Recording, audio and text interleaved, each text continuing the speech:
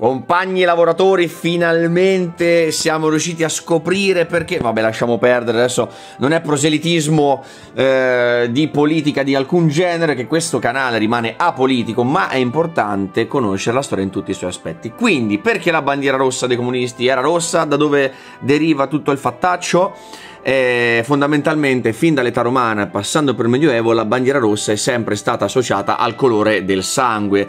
E il colore del sangue appunto il rosso voleva intimorire il nemico simboleggiava nessuna pietà per lo stesso medesimo.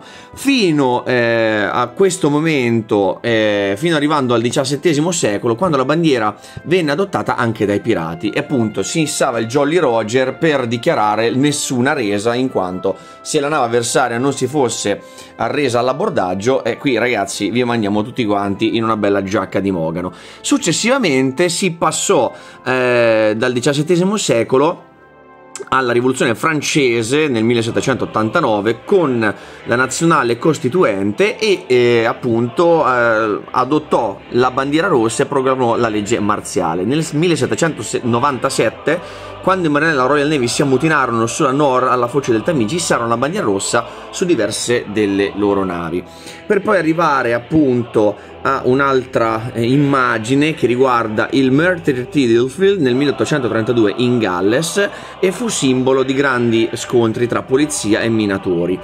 Questa bandiera rossa invece la conoscete tutti se vivete in riviera o giù al mare, non inneggia al comunismo, ma statevi attenti perché nessun quartiere verrà dato a quelli che vogliono comunque fare il bagno anche con le onde grandi. Con questo piccolo e eh, non scontato eh, escurso storico io vi saluto e alla prossima.